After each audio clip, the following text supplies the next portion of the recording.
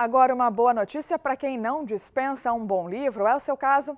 Até sexta-feira, várias atividades relacionadas à leitura vão acontecer em unidades do SENAC, em várias cidades aqui da nossa região.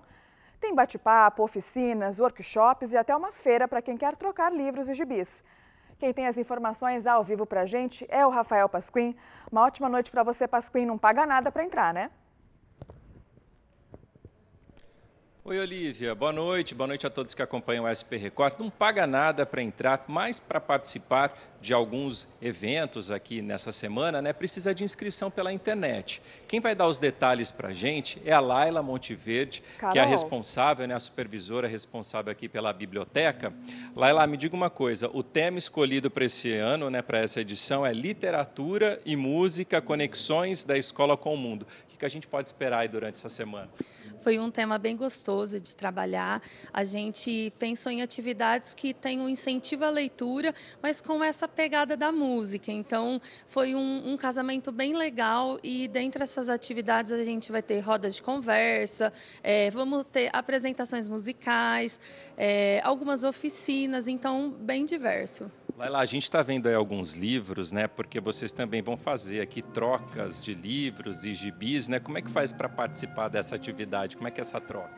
A feira de livro ela é aberta a todo mundo, então é só chegar, trazer um livro de literatura e você troca por outro de literatura também.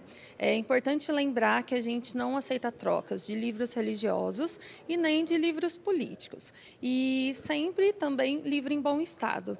Quem pode participar dessa semana aqui de atividades? A semana é aberta ao público, então tanto os estudantes, docentes, professores, está todo mundo convidado, pode vir. É, como você disse, algumas atividades elas precisam de inscrição, então é só acessar o site, né, eventos.sp.senac.br. Lá vai ter mais informações do que precisa de se inscrever e do que é só chegar. Apesar da inscrição, também tudo de graça, não paga nada, né? Tudo de graça.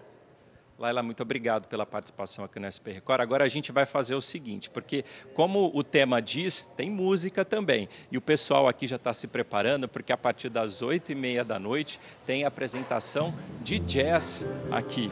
E olha só, o pessoal aqui vai passar um pouquinho da música, vai tocar um pouquinho para gente. É o grupo Pode Café. Vamos ouvir um pouquinho.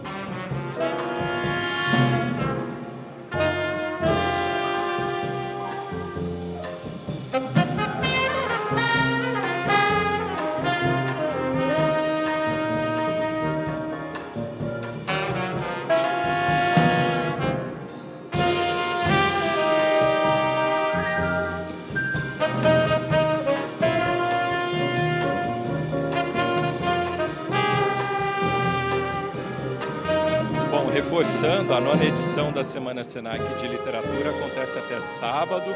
Na região tem Senac em Ribeirão Preto, Franca, Barretos, Bebedouro e Jaboticabal e não paga nada.